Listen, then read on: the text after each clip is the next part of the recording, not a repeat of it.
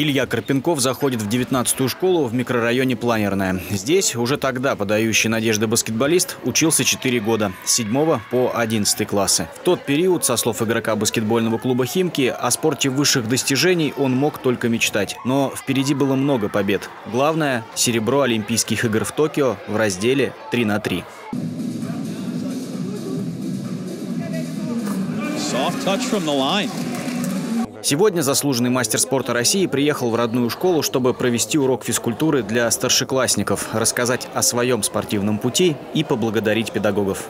Здравия, Сергей Привет. Привет. Как? Взаимно. Да, нормально, все хорошо. Давай.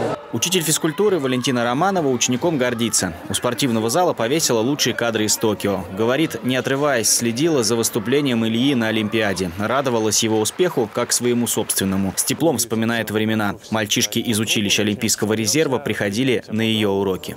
Он не один был, а была их группа баскетболистов, которые приходили ко мне на э, физкультуру, показывали э, свои умения. Это. Но это не часто было, потому что они э, э, выезжали очень часто на сборы.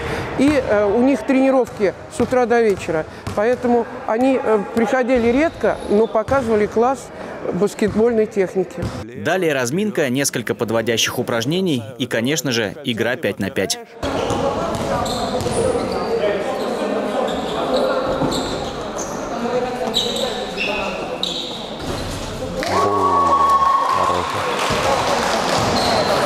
В завершении урока мастер-класс от профессионального баскетболиста. Илья продемонстрировал отличную физическую форму. К предстоящему сезону Суперлиги готов.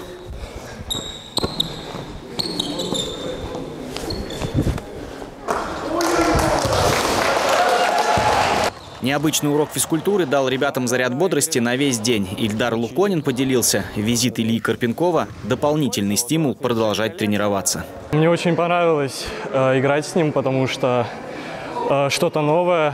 Э, для меня это было очень приятно.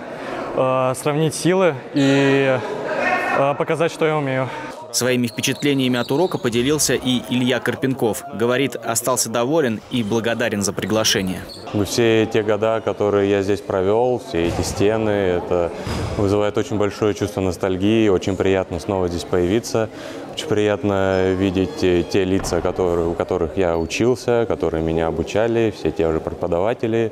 Ну, очень рад здесь оказаться снова. Баскетболист отметил, такие встречи в школах нужны. И он своим примером готов показать, что в достижении успеха нет ничего невозможного. Потому что среди сегодняшних школьников будущие чемпионы и участники Олимпийских игр, каким когда-то был и сам Илья Карпенков. Андрей Липанов, Руслан Сафин. Новости Химки ТВ.